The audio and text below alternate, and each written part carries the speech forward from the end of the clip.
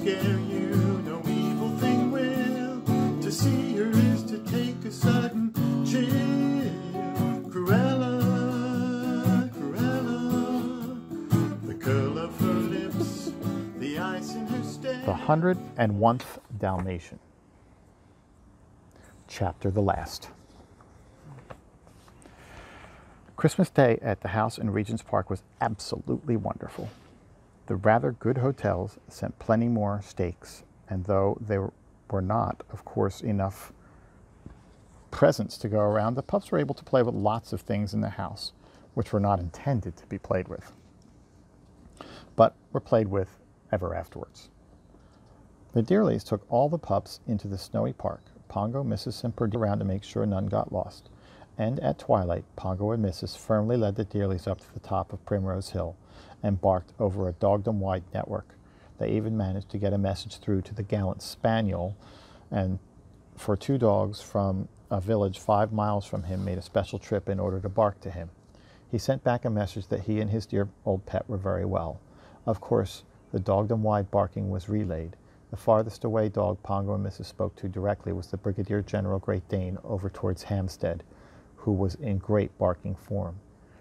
There is something very mysterious about this barking at twilight, said Mrs. Dearly. Do you think that they are sending messages? Mr. Dearly said it was a charming idea, and then he stopped. Was anything beyond dogs? Not when he thought of all Pongo and Mrs. had done. How had they gotten 97 pups back from Suffolk? Pongo and Mrs. longed to tell them, but they never could. As soon as Christmas was over, Mr. Dearly decided to act quickly, for he realized that 100 Dalmatians were too much for the house in Regent's Park. They were even a bit much for all of Regent's Park. First, he advertised in case any of the rightful owners of pups wanted to claim them, but none did for this reason. Cruella had bought all the pups except for those stolen from the Dearlys, because it costs a lot to get any expert stealing done these days. Cruella had paid more than to the dog thieves who had stole from the Dearlys than for any of the litters she had bought. And naturally, people who had sold puppies never thought of them as lost or did anything more about them. Only one owner turned up, the farmer who had owned Perdita, and he was quite happy to sell her to the Dearlys. So there, he, there was Mr. Dearly, lucky man with 100 delightful Dalmatians. He decided he must take a large country house. Happily, he could afford this, as the government had once again gotten itself into debt and he had gotten it out. And this time he had been rewarded by an income tax to save his in income tax on. So he had retired from business except for being always ready to help the government with its sums. One fine day in January, when the snow was all gone, he said to Mrs. Dearly, Let us drive out to Suffolk and return the little blue cart to Master Tommy Tompkins, and also hunt for a country house. And we'll have a look at the house where the puppies were imprisoned. Not that we'll take that one. Mrs. Dearly laughed at such an idea. They took Pongo and Mrs. with them, and Lucky came as a stowaway, under a seat, because he wanted to see the sheepdog again and be made a captain. He didn't stay under the seat long, and everyone was delighted to see him when they came out. When they reached the Dimpling, they went for a walk around the village and met Tommy Tompkins out with the sheepdog. So the little, little blue cart was returned and, then and there, rather a relief to the Dearlys, who wouldn't have quite known what to say to Tommy's parents. They did have enough to, they didn't have anything to say to Tommy, or have to say anything to Tommy, as he was still wasn't quite talking, though his chuckling noises were at last beginning to sound more like human than dog. The Dearly saw at once that Pongo, Mrs. and Lucky knew the sheepdog, and the tabby cat came hurrying over. And now we'll find Cruella's house, said Mr. Dearly. When they got to Hell Hall, there was a large noticeable there was a large notice outside saying, For sale, cheap, owner gone to warm climate, and the gates stood wide open. The house was empty. The Baddun brothers were now in jail for assaulting the man who came to take the television away, which had never been paid for they weren't minding jail much because meeting so many criminals was almost better than television, and they now had high hopes of one day appearing on What's My Crime. What a hideous house, said Mrs. Dearly. What a lovely wall, said Mr. Dearly. One thing had been worrying him. If he took a hundred Dalmatians into the country, how was he to prevent them from running wild? This magnificent wall was just the thing. If only the house were not so hideous. Well, suppose it were painted white, he said, and the blocked up windows were put back. There's a lovely pond in front, almost a lake. Mrs. Dearly shook her head, but when they got into the house and saw the fine large rooms and imagined all of them white instead of red, she began to feel different.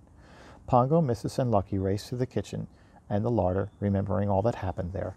The Dearlys followed them and saw the furnace in the, for the central heating. Then they all went out to the stables. These would make fine kennels if they were heated, said Mr. Dearly. Then he looked up and saw the folly. Both he and Mrs. Dearly took a fancy to it and they decided then and there to buy Hell Hall and make it into a beautiful house. Here we will fo- found a dynasty of Dalmatians, said Mr. Dearly. Mrs. Dearly was insulted. She thought the word meant nasty dine, but Pongo explained that it meant a family that goes on and on. Mr. Dearly added, and we'd better start a dynasty of Dearlys to look after the dynasty of Dalmatians and Mrs. Dearly quite agreed. The alterations to Hell Hall were quickly made, and one sunny day in the early spring a removal van and an extra large double decker motor coach stood outside the house in Regent's Park. The van was for the furniture, the coach was for the Dearlys and the Dalmatians. The nannies had already gone down by car to open Hell Hall, Nanny Butler driving. She added, had added a smart chauffeur's cap to her butler's outfit. Mr. Dearly had come out of the house with Pongo and Mrs. Mrs. Dearly followed with Perdita and with the white cat on her shoulders. The white cat was to start a dynasty at Hell Hall. The Dearlys had promised her a white Persian husband. Within the next few minutes, two surprising things happened. First, just as Mrs. saw the removal van, she said, Oh, there's a miracle. A Staffordshire Terrier flung itself from the van and said, here we are again to Pongo and he hurled himself at Mr. Dearly's chest. That's a compliment if you only knew it, said Jim, who was standing by the van. That's right, said Bill. Old battering ram's fallen for you. And I for him, said Mr. Dearly politely, rising from a sitting position. Pongo and Miss, Mrs. managed to quieten the Staffordshire before he paid any compliments to Mrs. Dearly. and then the second surprising thing happened a large car had drawn up, and the people in it were looking at Pongo, Mrs., and Perdita with interest. Suddenly, there was a wild commotion in the car, and the door burst open, and out sprang a superb liver spotted Dalmatian. He dashed up to Perdita. It was her long lost husband. His name was Prince. The people in the big car were so were much touched by his faithfulness to Perdita and at once offered him to the Dearlys, saying that they would be glad for a good home for him, as they were always going abroad and having to leave him in kennels. Prince was delighted. Apart from wanting to be with Perdita, he knew good pets when he saw them. So the Dalmatians started for Suffolk, 101 strong. They all sat up in the motor coach seats looking out of the windows, with many people who saw them pass cheered for there had been so much about them in the papers that they were now quite famous, and many, many dogs lined the route as word of the journey had gone out by the twilight barking. The waiting dogs barked their good wishes, and the Dalmatians barked their thanks. So it was a rather noisy in the motor coach. The Dearlys didn't mind. They thought happy barking was a pleasant noise. Prince was rather shy at first, so Mr. Dearly sat beside him and punched him in the way that some big dogs like to be punched. The punching needs to be hard enough, but not too hard. It must please, not hurt, and Mr. Dearly was a highly skilled dog puncher. Prince thumped his tail and suddenly gave Mr. Dearly's ear a playful nip, which was much appreciated. After that, Perdita's handsome husband felt he was completely one of the family. When the Dalmatians reached the village of Dimpling, all the villagers were out to receive them, with the sheepdog, the tabby cat, and Tommy Tompkins well to the fore. The cows were lowing a loving welcome from the farm. Tommy had his little blue cart with him, and the Cadpig felt just quite a bit envious, but she was happy to know that she had grown too strong to need any cart. The white Persian cat, who was now a charming creature, kindness makes kind cats, was extremely gracious to the farmyard tabby. It was the beginning of a firm friendship. At last, the motor coach drove through the wide open gates of Hell Hall the pond now reflected the snow white house with muslin curtains and all the windows. The front of the house seemed like a face and had an expression, but now it was a pleasant expression. The Nannies were at the open front door.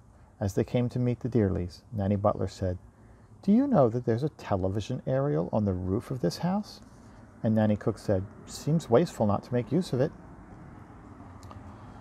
Then Mr. Dearly knew that the nannies wished for television in the kitchen, and he at once suggested it. Pongo and Mrs. were delighted, for they knew how much, how, how very much their smallest daughter had missed it. But during the many happy hours that the Cadpig was to sit watching in the watching it in the warm kitchen, she never quite liked it quite as much as that other television, that still, silent television she had seen on Christmas Eve, when the puppies had rested so peacefully in the strange lofty building. She often remembered that building and wondered who owned it. Someone very kind, she was sure, for in front of every one of the many seats there had been a little carpet-eared, puppy-sized dog bed. And that's the end of the 101 Dalmatians. Hope you enjoyed it. Um, you know, there's a sequel to this book called The Starlight Barking. You should know what a sequel is, especially if you have seen movies like Star Wars that have these different, you know, chapters and stuff, or episodes. So um, that was the end of the 101 Dalmatians. Uh, let me know if you want to hear the sequel. If you do, maybe I'll do that one next. Happy days.